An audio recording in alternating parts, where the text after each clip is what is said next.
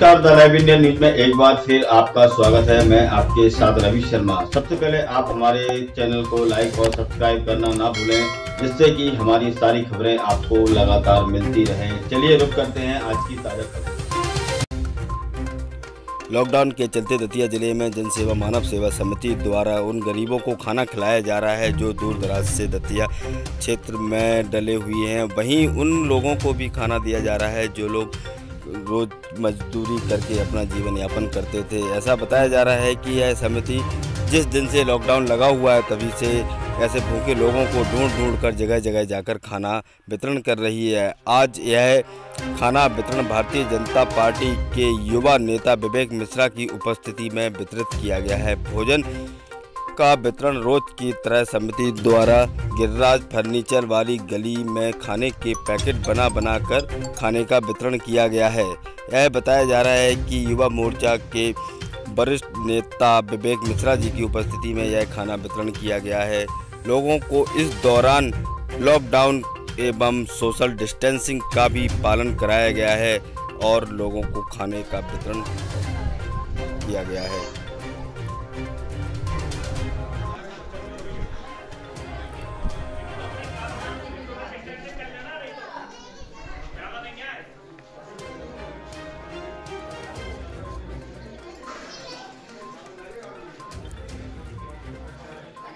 आज इन लोगों को खाने का वितरण जिस तरीके से किया गया है, वह एक सराहनीय कार्य है। थैलों में पनीर की सब्ज़ी के साथ पूड़ियाँ और अन्य तरह के खाने का वितरण किया गया है। देखिए किस तरह से खाने का वितरण लोगों में किया जा रहा है। यह एक सराहनीय कार्य है जो कि दतिया ज़िले में किया जा रहा है। यह दतिया ज़िला माँ पीताम्बरा की नगरी है। यहाँ पर एक से एक लोग धर्म के नाम पर आगे बढ़ चढ़कर हिस्सा लेते हैं। आइए, अब हम जानते हैं युवा नेता विवेक मिश्रा जी से, जिन्होंने इस समिति के द्वारा जो खाना वितरण किया जा रहा है, उस विषय में क्या कहा है? सुनिए।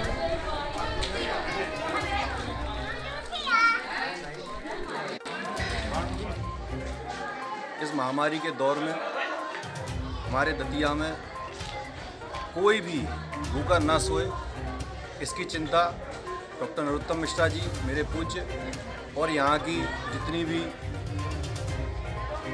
जनता है, वह चाहती है कि कोई भी भूखा ना सोए। जितने भी यहाँ पर समाज सेवी लोग हैं कार्यकर्ता गण हैं, सभी पूरी कोशिश कर रहे हैं कि कोई भी भूखा ना सोए, ऐसी कोई दिक्कत ना आए जिसकी आवश्यकता हो वो पूर्ति करें। और व्यक्ति तो व्यक्ति छोड़िए, हमारे यहाँ पर तो गायों की भी चिंता की जा रही है, पशुओं की भी चिंता की जा रही है। ऐसा हमारा दतिया है, माई की कृपा है, ऐसा ही हमारा पूरा प्रदेश हो, ऐसी कामना करते हैं। जहाँ एक और पुलिस द्वारा सख्ती से लॉकडाउन का पालन कराया जा रहा है। वहीं कुछ ऐसे असामाजिक तत्व हैं जो कि इस लॉकडाउन का पालन नहीं कर रहे हैं।